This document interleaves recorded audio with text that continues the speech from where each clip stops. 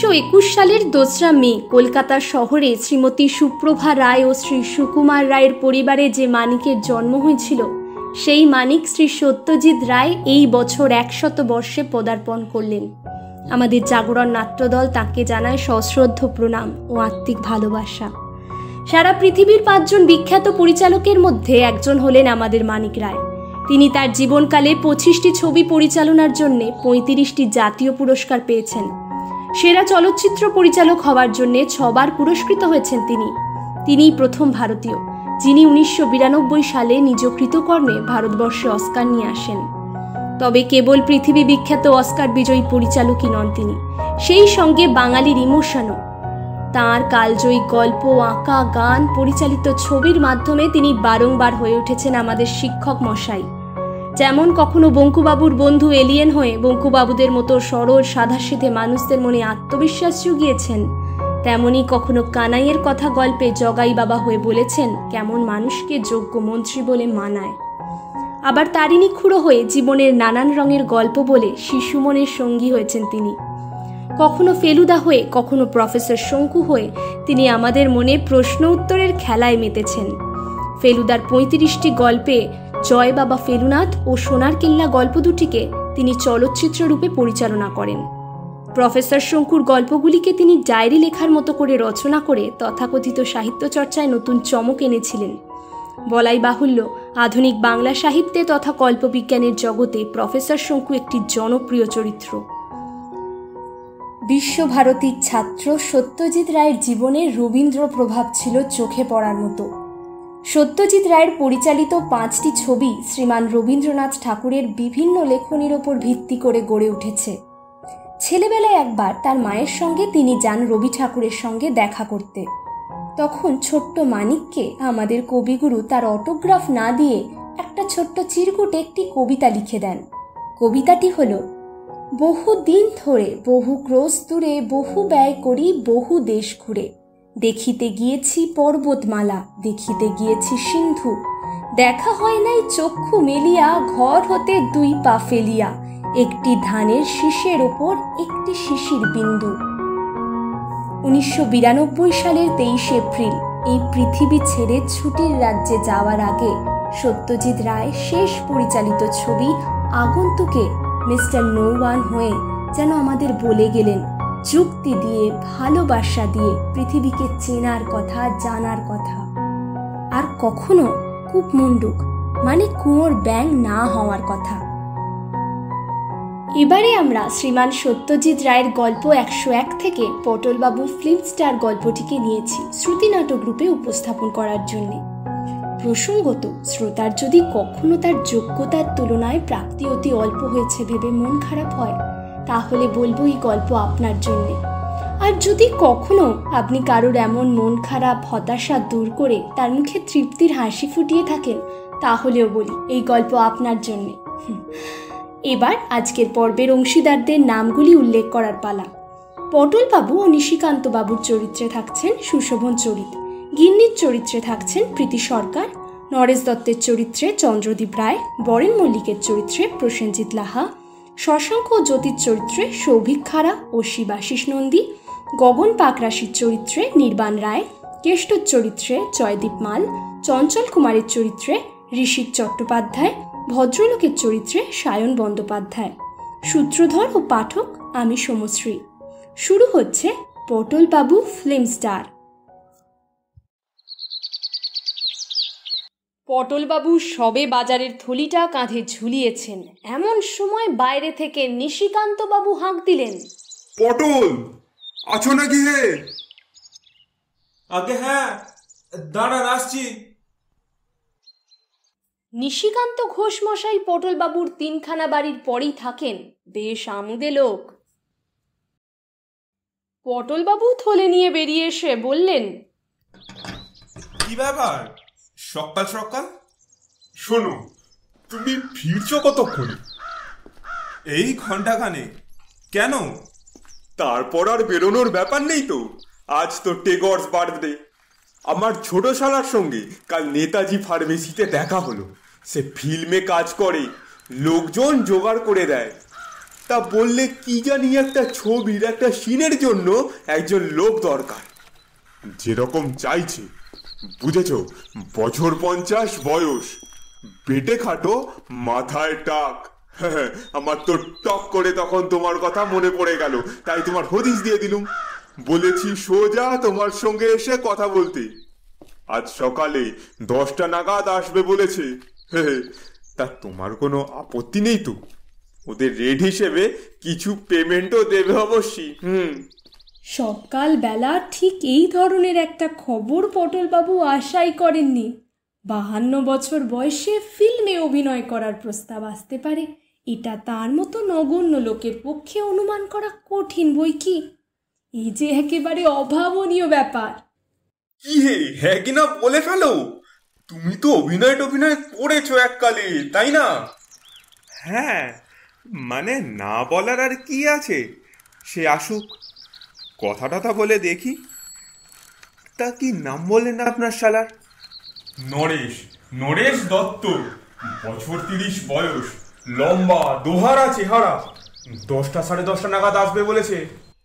বাজার করতে গিয়ে আজ পটলবাবু গিন্নির ফরমাস গুলিয়ে ফেলে কালো জিরের বদলে ধানি লঙ্কা কিনে ফেললেন। আর সৈন্ধব নুনের কথাটা তো বেমালুম ভুলেই গেলেন। এতে অবশ্যই আশ্চর্য হওয়ার কিছুই নেই। এককালে পটলবাবুর রীতিমতো অভিনয়ের শখ ছিল। শুধু শখ কেন? নেশাই বলা চলে। যাত্রায়, শখের থিয়েটারে, পুজো পার্বণে, পাড়ার ক্লাবের অনুষ্ঠানে তার বাঁধা কাজ ছিল অভিনয় করা।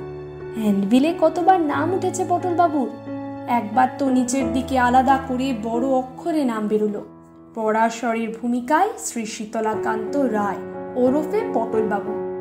তার নামে টিকিট বিক্রি হয়েছে বেশি, এমনও সময় গেছে এককালে। তখন অবশ্যই তিনি থাকতেন কাঁচরাপাড়া সেখানেই রেলের কারখানায় চাকরি ছিল তার। উনিশশো চৌত্রিশ সনে কলকাতার হার্টসন কিম্বার্লি কোম্পানিতে আরেকটু বেশি মাইনের একটা চাকরি আর নেপাল ভট্টাচার্য লেনে এই বাড়িটা পেয়ে। পটলবাবু সস্ত্রীক কলকাতায় চলে আসেন। কটা বছর কেটেছিল ভালোই। আপিসের সাহেব বেশ স্নেহ করতেন পটলবাবুকে। তেতাল্লিশ সনে পটলবাবু সবে একটা পাড়ায় থিয়েটারের দল করব করব করছেন। এমন সময় যুদ্ধের ফলে আপিসে হলো ছাঁটাই। আর পটলবাবুর ন বছরের সাদের চাকরিটি কর্পূরের মতো উবে গেল। সেই থেকে আজ অবধি বাকি জীবনটা রোজগারের ধান্দায় কেটে গেছে পটলবাবুর। গোড়ায় একটা মণিহারি দোকান দিয়েছিলেন, সেটা বছর পাঁচেক চলে উঠে যায়। তারপর একটা বাঙালি আপিসে কেরানিগিরি করেছিলেন কিছুদিন। কিন্তু বড় কর্তা বাঙালি সাহেব মিস্টার মিটারের ঔদ্ধত্য আর অকারণ চোখ রাঙানি সহ্য করতে না পারায় নিজেই ছেড়ে দেন সে চাকরি। তারপরেই দশটা বছর ইন্স্যুরেন্সের দালালি থেকে শুরু করে কি না করেছেন পটলবাবু। কিন্তু যে অভাব, যে টানাটানি, সে আর দূর হয়নি কিছুতেই। সম্প্রতি তিনি একটা লোহা লক্করের দোকানে ঘোরাঘুরি করছেন। তার এক খুঁড়তুতো ভাই বলেছে সেখানে একটা ব্যবস্থা করে দেবে। আর অভিনয়? সে তো যেন আর এক জন্মের কথা।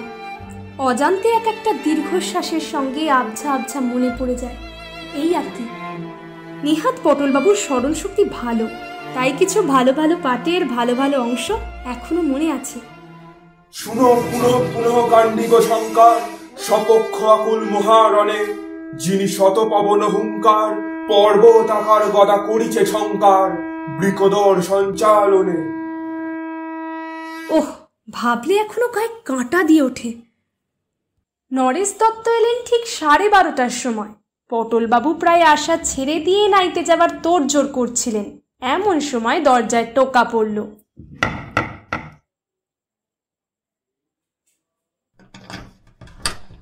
আসুন আসুন। পটলবাবু দরজা খুলে আগন্তুককে প্রায় ঘরের ভেতর টেনে এনে তার হাতল ভাঙা চেয়ারটি তার দিকে এগিয়ে দিলেন। বসুন। না না বসবো না। নিশিকান্তবাবু আপনাকে আমার কথা বলেছেন বোধহয়? হ্যাঁ হ্যাঁ আমি অবশ্যই খুবই অবাক হয়েছি। এতদিন বাদে আপনার আপত্তি নেই তো? আমাকে দিয়ে মানে চলবে তো? পটলবাবুর লজ্জায় মাথা হেঁট হয়ে গেল।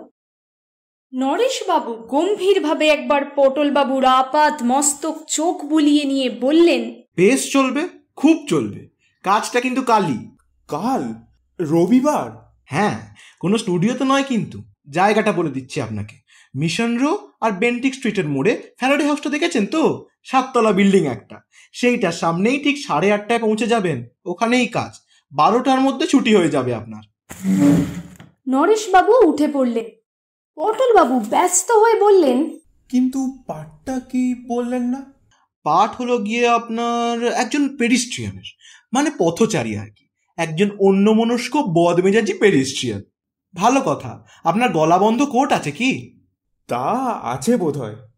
ওটাই পরে আসবেন। ডার্ক রং তো? বাদামি গোছের। গরম কিন্তু।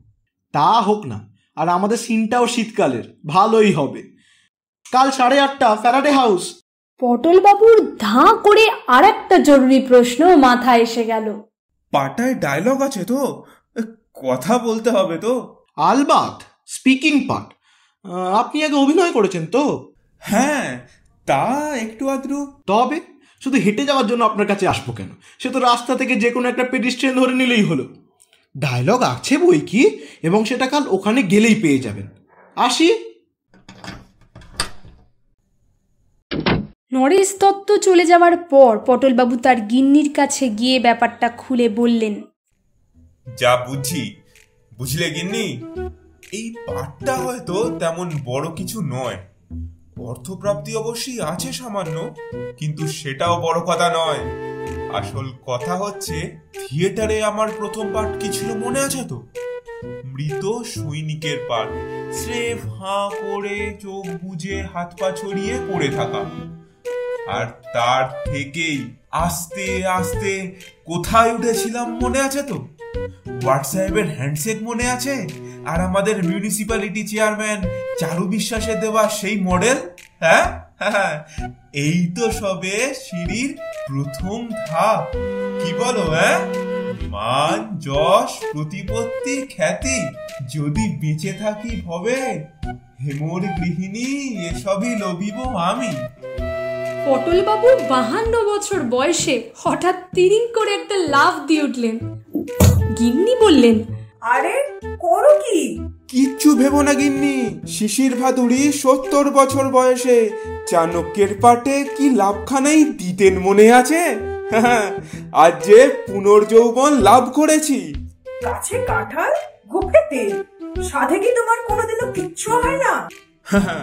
হবে হবে সব হবে। ভালো কথা আজ বিকেলে একটু চা খাব বুঝেছ? আর সঙ্গে একটু আদার রস। নইলে গলাটা ঠিক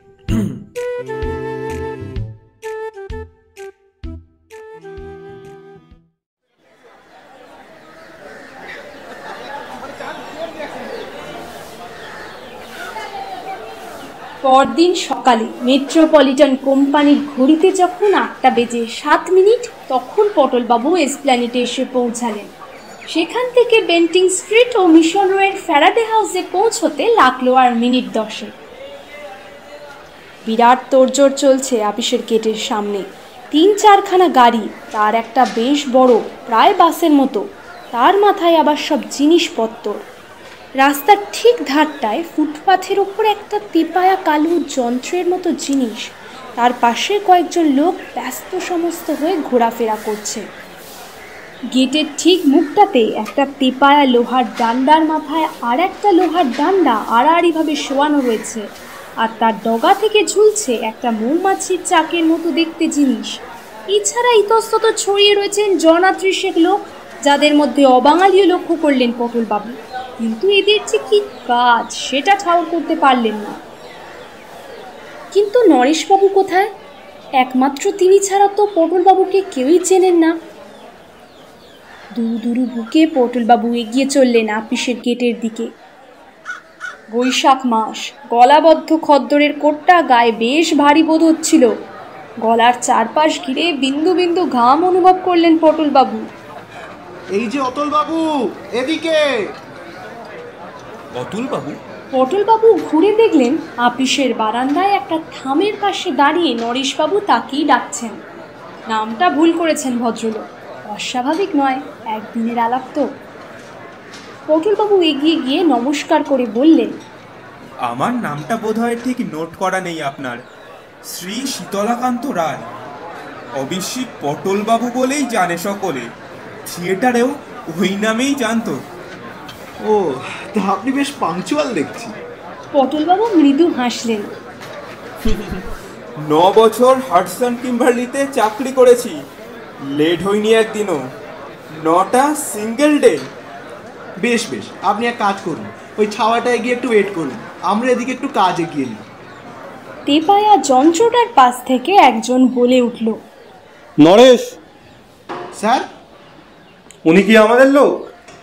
হ্যাঁ স্যার। ইনি মানে ওই ধাক্কার ব্যাপারটা। ও ঠিক আছে। এখন জায়গাটা ক্লিয়ার করো তো শর্ট নেব।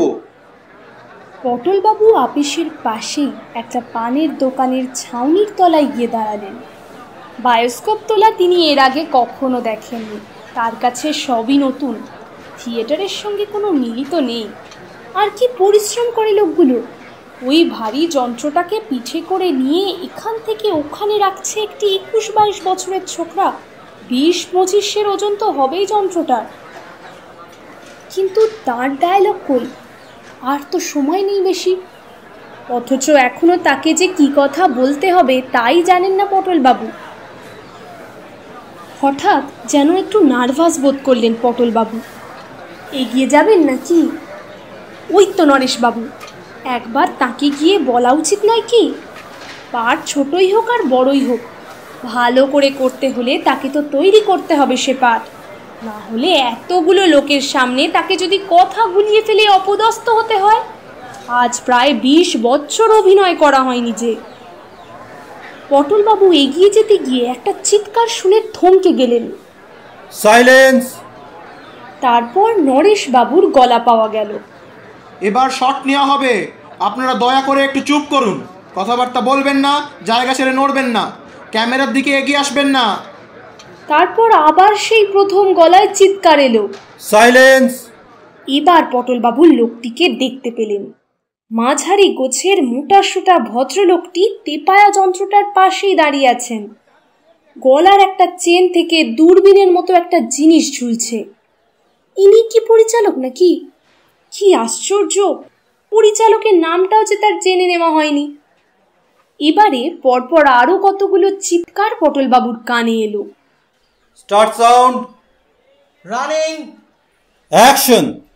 Action কথাটার সঙ্গে সঙ্গেই পটলবাবু দেখলেন চৌমাথার কাছ থেকে একটা গাড়ি এসে আপিসের সামনে থামলো। আর তার থেকে একটি মুখে গোলাপি রং মাখা স্যুট পরা যুবক দরজা খুলে প্রায় হুমড়ি খেয়ে নেমে হন হনিয়ে আপিসের গেট পর্যন্ত গিয়ে থেমে গেল।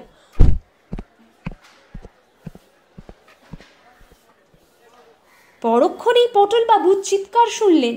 কাট! আর অমনি সাইলেন্স ভেঙে গিয়ে জনতার গুঞ্জন শুরু হয়ে গেল। পটলবাবুর পাশেই এক ভদ্রলোক তার দিকে ঝুঁকে পড়ে জিজ্ঞেস করলেন ছোকরাটিকে চিনলেন তো? পটলবাবু বললেন কই না তো? ভদ্রলোক বললেন চঞ্চল কুমার চর চড়িয়ে উঠছে ছোকরা। একসঙ্গে চারখানা বইয়ে অভিনয় করছে। পটলবাবু বায়োস্কোপ খুবই কম দেখেন। কিন্তু এই চঞ্চল কুমারের নাম যেন শুনেছেন দু একবার। কোটিবাবু বোধ হয় এই ছেলেটিরই প্রশংসা করছিলেন একদিন। বেশ মেকআপ করেছে ছেলেটি। এই বিলিতি স্যুটের বদলে ধুতি চাদর পরিয়ে ময়ূরের পিঠে চড়িয়ে দিলেই একেবারে কার্তিক ঠাকুর। কাঁচরাপাড়ায় মনতোষ ওরফে চিনুর চেহারা কতকটা ওই রকমই ছিল বটে। বেড়ে ফিমেল পাঠ করতো চিনু। পটলবাবু এবার পাশের ভদ্রলোকটির দিকে ঝুঁকে পড়ে ফিসফিস করে বললেন আর পরিচালকটির নাম কি মশাই? ভদ্রলোক অবাক হয়ে বললেন সে কি? আপনি তাও জানেন না? উনি যে বরেন মল্লিক। পরপর তিনটে ছবি হিট করেছে। যা কতগুলো দরকারি জিনিস জানা হয়ে গেল। নইলে গিন্নি যদি জিজ্ঞেস করতেন কার ছবিতে কার সঙ্গে অভিনয় করে এলে তাহলে মুশকিলেই পড়তেন পটলবাবু। নরেশ এক ভাঁড় চা নিয়ে পটলবাবুর দিকে এগিয়ে এলো। আসুন স্যার গলাটা একটু ভিজিয়ে আলগা করে দিন আপনার ডাক পড়ল বলে। পটলবাবু এবার আসল কথাটা না বলে পারলেন না। আমার ডায়লগটা যদি এই বেলা দিতেন তো? ডায়লগ আসুন আমার সঙ্গে। নরেশ তেপায়া যন্ত্রটার দিকে এগিয়ে গেল। পিছনে পটলবাবু। এই শশাঙ্ক। একটি হাফ শার্ট পরা ছোকরা এগিয়ে এলো নরেশের দিকে। নরেশ তাকে বলল এই ভদ্রলোক ওনার ডায়লগ চাইছেন। একটা কাগজে লিখে দিত সেই ধাক্কার ব্যাপারটা। শশাঙ্ক পটলবাবুর দিকে এগিয়ে এলো। আসুন দাদু। এই জ্যোতি তোর কলমটা একটু দে তো। দাদুকে ডায়লগটা দিয়ে দিই। জ্যোতি ছেলেটি তার পকেট থেকে একটা লাল কলম বার করে শশাঙ্কের দিকে এগিয়ে দিল। আর শশাঙ্ক তার হাতের খাতা থেকে একটা সাদা পাতা ছিঁড়ে কলম দিয়ে তাতে কি জানি একটা লিখে কাগজটা পটলবাবুকে দিল। পটলবাবু কাগজটার দিকে চেয়ে দেখলেন তাতে লেখা রয়েছে আ। পটলবাবুর মাথাটা কেমন ঝিমঝিম করে উঠল। কোটটা খুলে ফেলতে পারলে ভালো হয়। গরম হঠাৎ অসহ্য হয়ে উঠেছে। শশাঙ্ক বলল দাদু যে গুম মেরে গেলেন কঠিন মনে হচ্ছে। এরা কি তাহলে ঠাট্টা করছে? সমস্ত ব্যাপারটাই কি একটা বিরাট পরিহাস? তার মতো নিরীহ নির্বিবাদী মানুষকে ডেকে এনে এত বড় শহরের এত বড় রাস্তার মাঝখানে ফেলে রং তামাশা এত নিষ্ঠুরও কি মানুষ হতে পারে? পটলবাবু শুকনো গলায় বললেন ব্যাপারটা ঠিক বুঝতে পারছি না। কেন বলুন তো? শুধু আর কোনো কথা নেই। শশাঙ্ক চোখ কপালে তুলে বলল বলেন কি দাদু এ কি কম হলো নাকি? এ তো রেগুলার স্পিকিং পার্ট বরেন মল্লিকের ছবিতে স্পিকিং পার্ট আপনি বলছেন কি? আপনি তো ভাগ্যবান লোক মশাই। জানেন আমাদের এই ছবিতে আজ অব্দি প্রায় দেড়শো লোক পাঠ করে গেছে। যারা কোনো কথাই বলেনি। শুধু ক্যামেরার সামনে দিয়ে হেঁটে গেছে। অনেকে আবার হাঁটেওনি, স্রেফ দাঁড়িয়ে থেকেছে। কারু কারু মুখ পর্যন্ত দেখা যায়নি। আজ কেউ দেখুন না। এই যে ওরা সব দাঁড়িয়ে আছেন ল্যাম্পপোস্টের পাশে, ওরা সবাই আছেন আজকে সিনে। কিন্তু একজনেরও একটিও কথা নেই। এমনকি আমাদের যে নায়ক চঞ্চল কুমার, তারও আজ কোনো ডায়লগ নেই। কেবলমাত্র আপনার কথা, বুঝেছেন? এবার জ্যোতি বলে ছেলেটি এগিয়ে এসে পটলবাবুর কাঁধে হাত রেখে বলল, শুনুন দাদু, ব্যাপারটা বুঝে নিন। চঞ্চল কুমার হলেন এই আপিসের বড় চাকুরে। সিনটায় আমরা দেখাচ্ছি যে আপিসে একটা ক্যাশ ভাঙার খবর পেয়ে চঞ্চল হন্তদন্ত হয়ে দৌড়ে আপিসে ঢুকছে। আর ঠিক সেই সময় সামনে পড়ে যাচ্ছেন আপনি, একজন পেডিস্ট্রি বুঝছেন? লাগছে ধাক্কা, বুঝছেন? আপনি ধাক্কা খেয়ে বলছেন আ আর চঞ্চল আপনার দিকে দৃকপাত না করেই ঢুকে যাচ্ছে আপিসে। আপনাকে অগ্রাহ্য করাতে তার মানসিক অবস্থাটা ফুটে বেরোচ্ছে। বুঝছেন? ব্যাপারটা কত ইম্পর্ট্যান্ট ভেবে দেখুন। এবার শশাঙ্ক এগিয়ে এসে বলল শুনলেন তো? যান এবার একটু ওদিকটায় চান দেখি। এদিকটায় ভিড় করলে কাজের অসুবিধা হবে। আর একটা শট আছে। তারপর আপনার ডাক পড়বে। পটলবাবু আস্তে আস্তে আবার পানের দোকানটার দিকে সরে গেলেন। ছাউনির তলায় পৌঁছে হাতের কাগজটার দিকে একবার আর দৃষ্টিতে দেখে আশেপাশের কেউ তার দিকে দেখছে কিনা দেখে নিয়ে কাগজটাকে কুণ্ডুলি পাকিয়ে নর্দমার দিকে ছুঁড়ে ফেলে দিলেন। একটা বিরাট দীর্ঘশ্বাস পটলবাবুর বুকের ভেতর থেকে উপরে উঠে এলো। শুধু একটিমাত্র কথা, কথাও না, শব্দ। আহ, গরম অসহ্য হয়ে আসছে। গায়ের কোটটা মনে হয় যেন মনখানে কোজন। আর দাঁড়িয়ে থাকা চলে না, পা অবশ হয়ে গেছে। পটলবাবু এগিয়ে গিয়ে পানের দোকানের ওদিকের আপিসটার দরজার সিঁড়ির উপর বসে পড়লেন। সাড়ে নটা বাজে। করালি বাবুর বাড়িতে শ্যামা সংগীত হয় রবিবার সকালে। পটলবাবু নিয়মিত গিয়ে শোনেন। বেশ লাগে।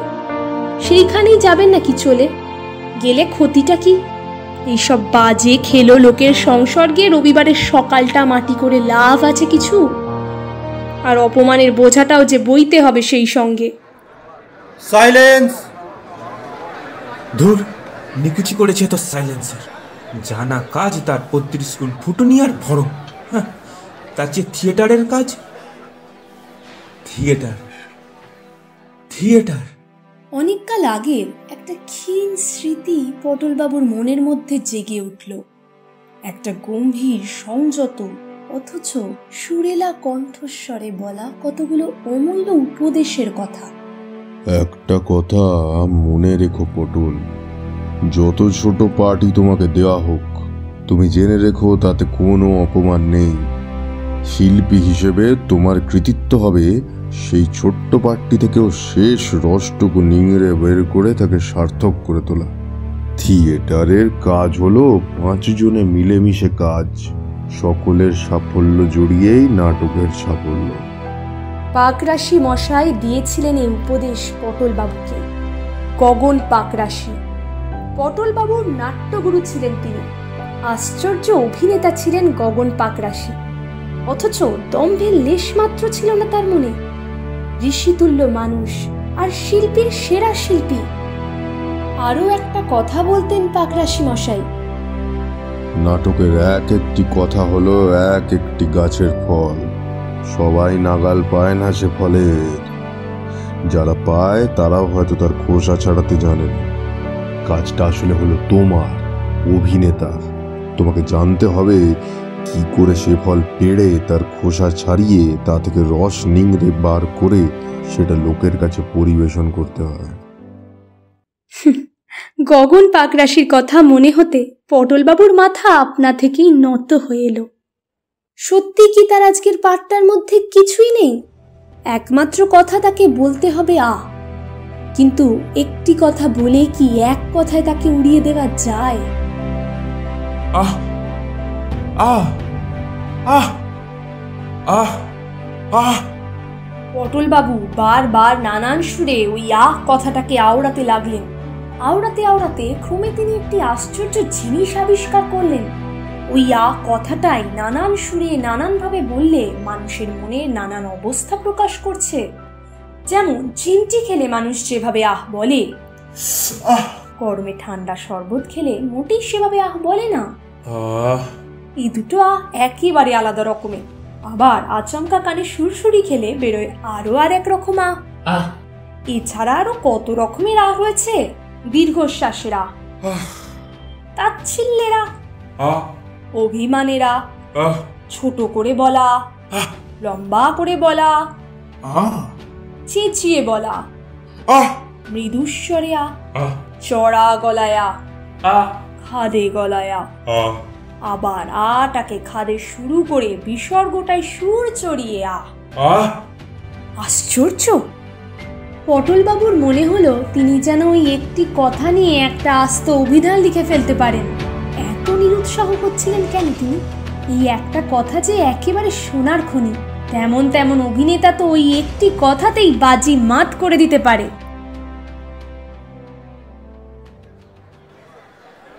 সাইলেন্স! পরিচালক মশাই ওইদিকে আবার হুঙ্কার দিয়ে উঠেছেন। পটলবাবু দেখলেন জ্যোতি ছোকরাটি তার কাছেই ভিড় সরাচ্ছে। ছোকরাকে একটা কথা বলা দরকার। পটলবাবু দ্রুত পদে এগিয়ে গেলেন তার কাছে। আমার কাজটা হতে আর কতক্ষণ দেরি ভাইয়া এত ব্যস্ত হচ্ছেন কেন দাদু? একটু ধৈর্য ধরতে হয় এসব ব্যাপারে। আরও আধ ঘণ্টা খানেক অপেক্ষা করুন। নিশ্চয়ই নিশ্চয়ই। অপেক্ষা করব বই কি? আমি এই কাছাকাছি আছি। দেখবেন আবার শটকাবেন না যেন। জ্যোতি চলে গেল। স্টার্ট সাউন্ড পটলবাবু পা টিপে টিপে শব্দ না করে রাস্তা পেরিয়ে উল্টো দিকের একটা নিরিবিলি গলিতে ঢুকে পড়লেন। ভালোই হলো হাতে সময় পাওয়া গেছে কিছুটা। এরা যখন রিহার্সাল টিহার্সালের বিশেষ ধার ধারছে না তখন তিনি নিজেই নিজের অংশটা অভ্যাস করে নেবেন। গলিটা নির্জন একই আপিস পাড়া। বাসিন্দা এমনিতেই কম। তাই রবিবার। যে কজন লোক ছিল, সবাই ফ্যারাডে হাউসের দিকে বায়োস্কোপের তামাশা দেখতে চলে গেছে। পটলবাবু গলা খাঁকড়ে নিয়ে আজকের এই বিশেষ দৃশ্যের বিশেষ আহ শব্দটি আয়ত্ত করতে আরম্ভ করলেন।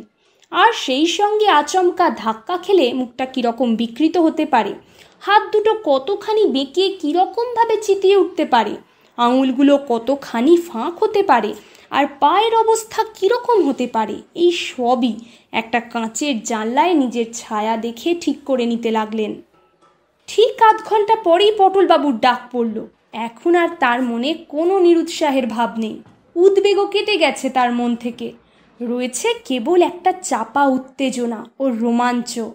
পঁচিশ বছর আগে স্টেজে অভিনয় করার সময় একটা বড় দৃশ্যে নামবার আগে যে ভাবটা তিনি অনুভব করতেন সেই ভাব। পরিচালক বরেন মল্লিক পটলবাবুকে কাছে ডেকে বললেন আপনি ব্যাপারটা বুঝে নিয়েছেন তো? আগে হ্যাঁ।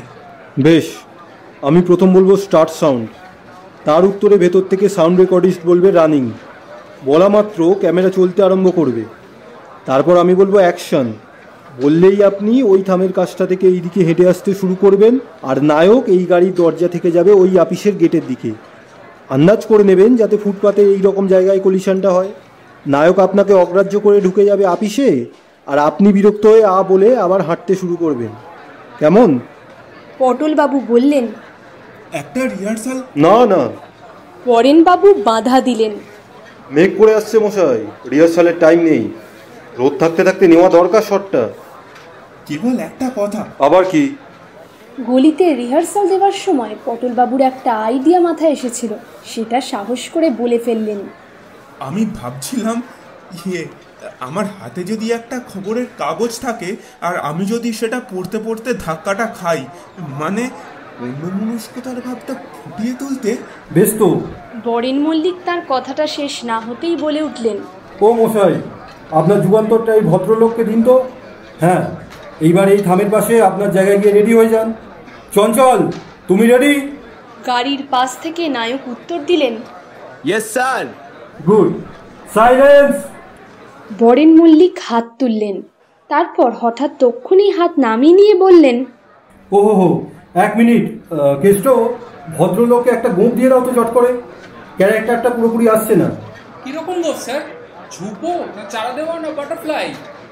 রেডি আছে সবই। বাটারফ্লাই বাটারফ্লাই চট করে দাও দেরি করো না।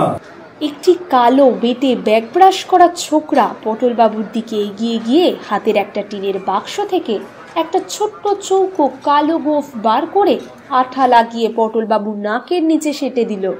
পটলবাবু বললেন দেখো বাপু ধাক্কা ধাক্কিতে খুলে যাবে না তো? ছোকরা হেসে বলল ধাক্কা কেন? আপনি দাঁড়া সিংহের সঙ্গে কুস্তি করুন না। তাও খুলবে না। লোকটার হাতে আয়না ছিল। পটলবাবু টুক করে তাতে একবার নিজের চেহারাটা দেখে নিলেন। সত্যি তো বেশ মানিয়েছে তো খাসা মানিয়েছে। পটলবাবু পরিচালকের তীক্ষ্ণ দৃষ্টিকে মনে মনে তারিফ না করে পারলেন না। Silence silence! পটলবাবুর গোফ পড়া দেখে দর্শকদের মধ্যে থেকে একটা গুঞ্জন শুরু হয়েছিল। বরেন মল্লিকের হুঙ্কারে সেটা থেমে গেল। পটলবাবু লক্ষ্য করলেন সমবেত জনতার বেশিরভাগ লোকই তাঁরই দিকে চেয়ে আছে। Start sound. পটলবাবু গলাটা খাঁকড়িয়ে নিলেন। এক দুই তিন চার পাঁচ। পাঁচ পা আন্দাজ হাঁটলে পর পটলবাবু ধাক্কার জায়গায় পৌঁছাবেন। আর চঞ্চল কুমারকে হাঁটতে হবে বোধহয় চার পা। সুতরাং দুজনে যদি একসঙ্গে রওনা হন তাহলে পটলবাবুকে একটু বেশি জোরে হাঁটতে হবে। তা না হলে? রানিং! পটলবাবু খবরের কাগজটা তুলে মুখের সামনে ধরলেন। দশ আনা বিরক্তির সঙ্গে ছ আনা বিস্ময় মিশিয়ে আহটা বললে পরেই অ্যাকশন! জয় গুরু। খচ খচ খচ খচ খচ ঠন! পটলবাবু হঠাৎ চোখে অন্ধকার দেখলেন। নায়কের মাথার সঙ্গে তার কপালে ঠোকাঠুকি লেগেছে। একটা তীব্র যন্ত্রণা তাকে এক মুহূর্তের জন্য জ্ঞান শূন্য করে দিয়েছে। কিন্তু পর মুহূর্তেই এক প্রচণ্ড শক্তি প্রয়োগ করে আশ্চর্যভাবে নিজেকে সামলে নিয়ে পটলবাবু দশ আনা বিরক্তির সঙ্গে তিন আনা বিস্ময় ও তিন আনা যন্ত্রণা মিশিয়ে আহ শব্দটা উচ্চারণ করে কাগজটা সামলে নিয়ে আবার চলতে আরম্ভ করলেন। কাট! পটলবাবু গম্ভীর উৎকণ্ঠার সঙ্গে বরেনবাবুর দিকে এগিয়ে এলেন। ঠিক হলো কি? বেড়ে হয়েছে। আপনি তো ভালো অভিনেতা মশাই ইয়ে। শুনেন কালো মাছটা একবার চোখে লাগিয়ে দেখো তো মেঘের কি অবস্থা। শশাঙ্ক এসে বলল দাদু চোট লাগেনি তো? চঞ্চল কুমার মাথায় হাত বুলোতে বুলোতে এসে বললেন ধন্যি মশাই আপনার টাইম বাপের নাম ভুলিয়ে দিয়েছিলেন প্রায়। ওহ। নরেশ ভিড় ঠেলে এসে বলল আপনি এই ছাওয়াটায় দাঁড়ান একটু। আর একটা শট নিয়েই আপনার ব্যাপারটা করে দিচ্ছি। পটলবাবু ভিড় ঠেলে ঘাম মুছতে মুছতে আবার পানের দোকানের ছায়াটা এসে দাঁড়ালেন। মেঘে সূর্য ঢেকে গরম কিছুটা কমেছে কিন্তু তাও পটলবাবু কোটটা খুলে ফেললেন। কি আরাম। একটা গভীর আনন্দ ও আত্মতৃপ্তির ভাব ধীরে ধীরে তার মনকে আচ্ছন্ন করে ফেলল। তার আজকের কাজ সত্যি ভালো হয়েছে। এতদিন অকেজো থেকেও তার শিল্পী মন ভোতা হয়ে যায়নি। পবন পাকরাশি আজ তাকে দেখলে সত্যিই খুশি হতেন। কিন্তু এরা কি সেটা বুঝতে পেরেছে? পরিচালক বরেন মল্লিক কি তা বুঝেছেন? এই সামান্য কাজ নিখুঁতভাবে করার জন্য তার যে আগ্রহ আর পরিশ্রম, তার কদর কি এরা করতে পারে? সে ক্ষমতা কি এদের আছে? এরা বোধহয় লোক ডেকে এনে কাজ করিয়ে টাকা দিয়েই খালাস। টাকা? কত টাকা? পাঁচ, দশ, পঁচিশ? টাকার তার অভাব ঠিকই, কিন্তু আজকের এই যে আনন্দ, তার কাছে পাঁচটা টাকা আর কি? মিনিট দশেক পরে নরেশ পানির দোকানের কাছে পটলবাবুর খোঁজ করতে গিয়ে ভদ্রলোককে আর পেল না। সে কি? টাকা না নিয়ে চলে গেল নাকি লোকটা? আচ্ছা ভোলা মন তো বরেন মল্লিক হাঁক দিলেন। রোদ বেরিয়েছে। Silence silence. ওহে নরেশ চলে এসো ভিড় সামলাও।